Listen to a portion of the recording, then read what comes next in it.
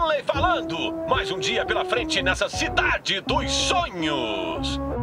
Eu amo essa cidade. Amo como se fosse uma mãe que te largou na porta de um orfanato que de vez em quando aparece para pedir um cigarrinho. Todo dia aqui significa centenas de pessoas novas chegando, mas apenas metade desses malucos sobrevive um ano. Isso quando é um bom ano. E por que essas pessoas vêm pra Night City? De rua como Morgan Blackhand ou William Boa Boa. Quem não arrisca, não petisca, pessoal. É o que dizem.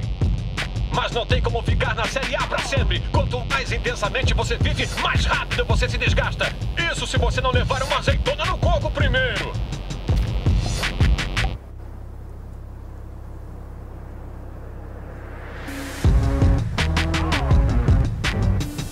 As lendas de Night City. Sabe onde vai encontrá-las?